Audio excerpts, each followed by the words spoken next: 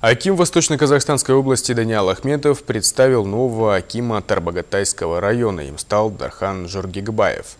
Также глава региона посетил местную больницу и новую школу. Подробнее о том, как прошел рабочий визит областного Акима в район, расскажем далее. Дархан Жоргекбаев – уроженец села Акжар. По словам Акима области, он имеет хороший управленческий опыт и сможет продолжить уже начатые проекты, а также дать старт новым. Даниал Ахметов обратился к общественности с просьбой поддержать нового Акима и своевременно озвучивать все проблемные вопросы, чтобы оперативно находить пути их решения.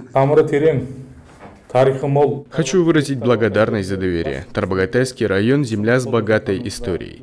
Быть Акимом значит быть рядом со своим народом. Исходя из этого принципа, я обещаю участвовать в улучшении благосостояния и жизни нашего народа, построению нового Казахстана, следуя взвешенной политике президента страны Касым Жомарта Токаева. В ходе визита в Тарбагатайский район глава области посетил районную больницу. Здесь было установлено современное оборудование, а медики прошли стажировку за рубежом в Израиле и Литве.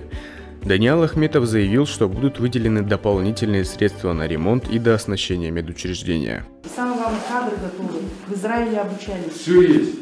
Я на толк маман, акушер Литвада, Израиль Оперирующие, то есть это очень редко в районе. Во время визита в школу Даниал Ахметов подчеркнул необходимость увеличения скорости интернета. Для этого будут построены антенно-мачтовые сооружения. Вопросы, которые поднимала общественность на встрече с Акимом, касались ситуации с водоснабжением в селе Тугыл и поставками топлива в район.